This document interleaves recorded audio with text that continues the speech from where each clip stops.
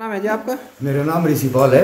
अच्छा क्या मामला हुआ? जो मकान गिरा कैसे गिरा? ये जो बारिश चल रही हम्म, बारिश में इस मकान में बच्चे सो रहे थे सारा परिवार और ऊपर से छतरी टूट गया बारिश की वजह से वज़न की वजह से एक तरफ़ से और पूरी की पूरी छत बैठ गई। टोटली इसी कमरे में इनका सब कुछ सामान था सब कुछ यही रहता। जिसमें दो बच्चे तो पूरे रुके नहीं मलबे में दब गए। और एक वीर का चोट है। हम्म, और एक ऊपर जो छत पर था छोटा सा बच्चा वो भी नुक्कड़ आ गया इनका सब सामान इसमें गिर गया बारिश के बारिश की वजह से। हम्म। अच्छा यही एक ही कमरा था नहीं हाँ ये एक ही कमरा था इनका। और ये बराबर में मेरी दीवार है ऋषिपाल की।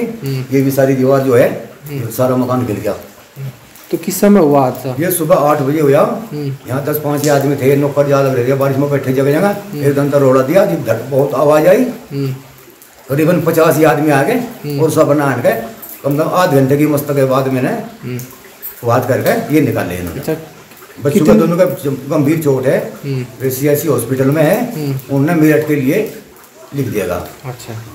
वे बच्चे जा रहे हैं बहुत गरीबी आदमी है। इनके पास ऐसा नहीं अभी एक टाइम का इनके पास आटा हो जाए खाना भी खा ले।